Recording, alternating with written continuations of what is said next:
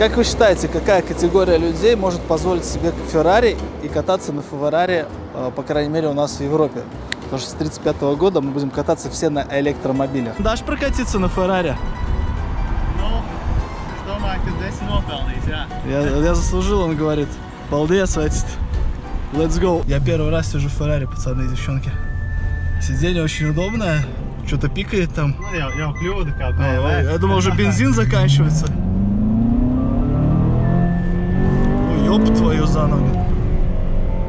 За ра- автомат, я? Вайлайк переключаться все время. А, Двойное сцепление. Это недавно на М5 прокатился. Вот на таких надо аккуратненько, да? Но она не такая и низкая, кстати. Я смотрел, нормально еще. В отличие от некоторых. Дорогие мои, это Ferrari, она красного цвета, она быстрая, дорогая, надежная. Э, Производили эти тачки с 2008 года по 2017 год. Это более мощная версия, здесь 489 лошадей. Она на 30 лошадей мощнее, чем вот предыдущие. Это красотка 2012 года, Калифорния. Э, 3,9 до соточки, это не самые быстрые результаты на данный момент, но в те времена это был супер-пупер космолет. Какие интересные заливалочки. Слушай, тут такая маленькая горловина. А, Расскажите, как попасть вот в эту горловину, чтобы залить омывайку для стекол, а? Здесь у нас тормозуха.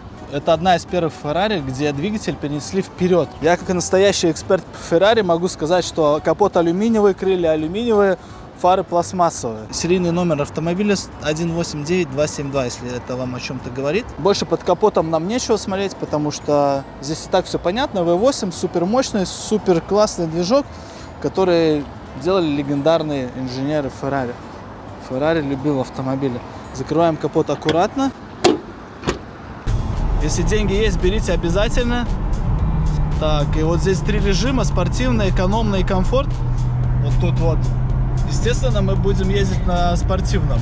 Я не знаю, для чего вообще эти режимы. Тут только спортивный. И вот я по люкам немного прокатился, да? И скажу вам, очень даже комфортно, не жестко. На эволюции жестче было. Мне очень нравится приборная панель. А, бензин у нас заканчивается. Короче, тот момент, когда на Феррари хватило, на бензин не хватает денег. Так что у нас еще интересно, карбоновый руль, лепестки карбоновые здесь вот. И дорога усыпана каким-то маленьким песочком, камнями. Вот такой у нас ремонт.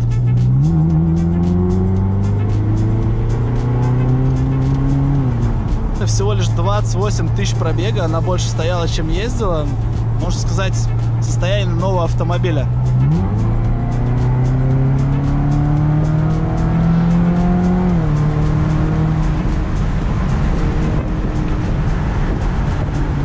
Хорошо, что есть человек, который заправит бензин и даст прокатиться на Феррари.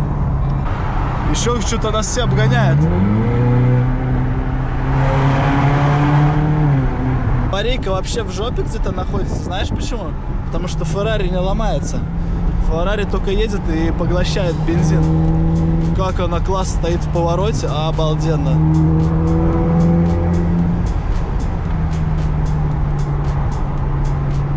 Jā, ļoti labi. Mati taisnика, сака, я? Стабилизация работает вообще сейчас? Отключается, бывает, стабилизация сам по себе. Мотоцикл или Феррари? О, у меня такой Fireblade, это мой первый мотоцикл. Итак, смотрите, если у вас нет денег на Феррари, то покупайте мотоцикл и разгон от, от 100, от... У! Блять, лапс, лапс, ай тут дырст. Где там мотоцикл, где-то сзади там. Но он не стартанул, конечно, ну ладно.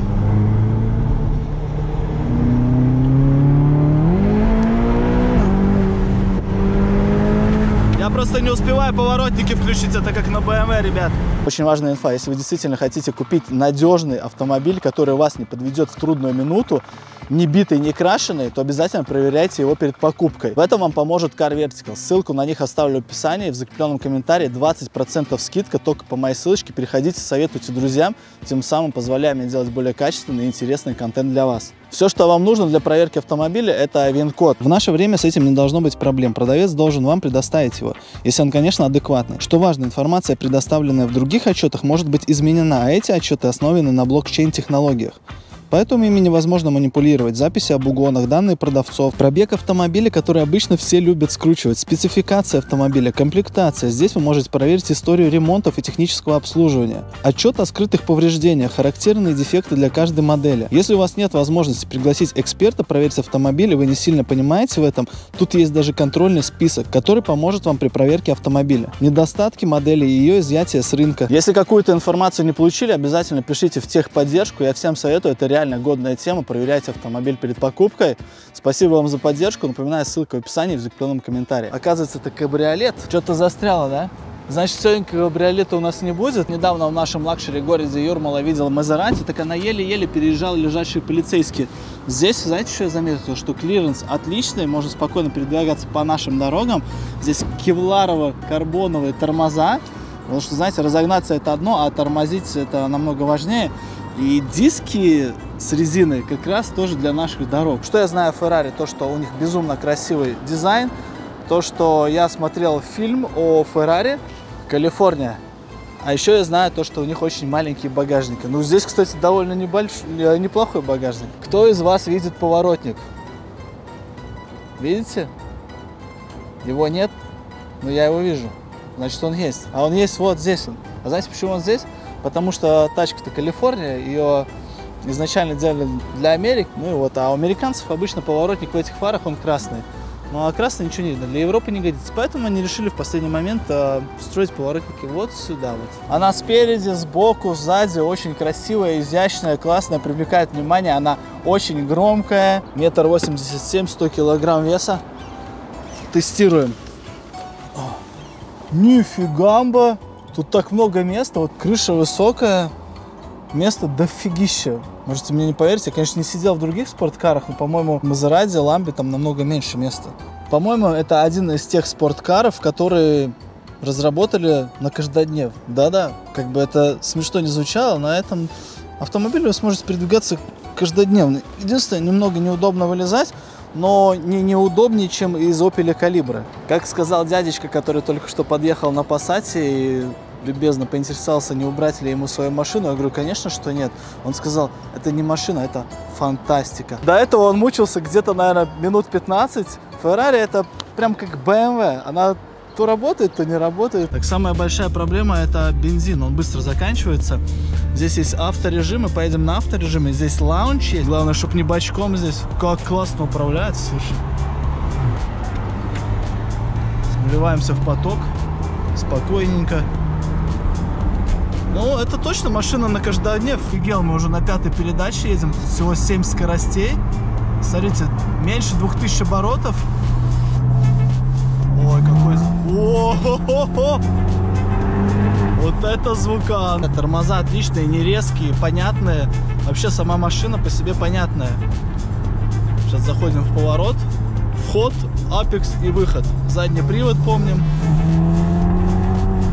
Еще настоящий звук Феррари.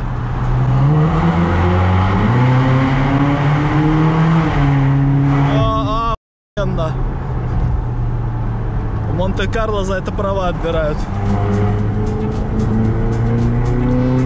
Подключить паркинг сенсоры, просто нажимаете сюда вот. Что тут еще интересно? Это крыша, да, наверное? Nē, nē, atslēgt, aizslēgt mašīnu. Ключики, да.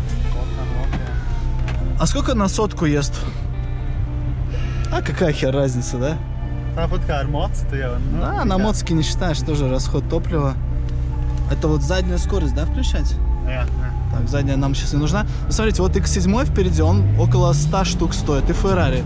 Что бы вы выбрали? Я, по-моему, безоговорочно выбираю Ferrari. Это мой фаворит. А как багажник открыть вообще? Salon. А, из салона, я понял. Так, вот эта кнопочка, да, где-то здесь? А, это как у японцев, ё-моё. Э, а Итальянцы чем-то схожи с японцами. Они не любят, когда воруют их бензин и открывают их багажники. Пипец, тяжелень какая. И... И все. типа вот сумку здесь можно положить. Но что важно, здесь есть присоска в багажнике. Наверное, подождите. Сейчас, боюсь, чтобы не стукнул. Да, Так как эта тачка может разогнаться до 330 км в час максимальная скорость, а у нее есть небольшая проблемка. Диоды от такой большой скорости и от небольших вибраций в этих фарах, они выпадают. Я увидел какашку, значит, у владельца этого автомобиля будет очень много денег. Это во-первых. А во-вторых, здесь есть такая ноздря, она работает как инерционный надув. И кто-то, наверное, уже написал в, в комментариях, какие 330 километров. Ребят, когда работает инерционный надув, получается все 340.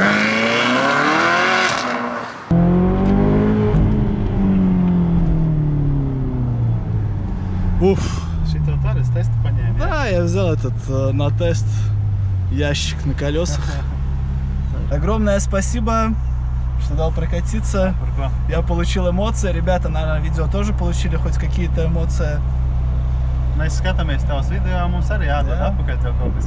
Gan jau латвийский arī būs контент кадрейс. Если у кого-то есть лишние 100 косарей, эта тачка продается, смело пишите в Инстаграм. Все ссылочки в описании. Спасибо, что доверил мне тачку. Мне очень приятно. До новых встреч. Пока.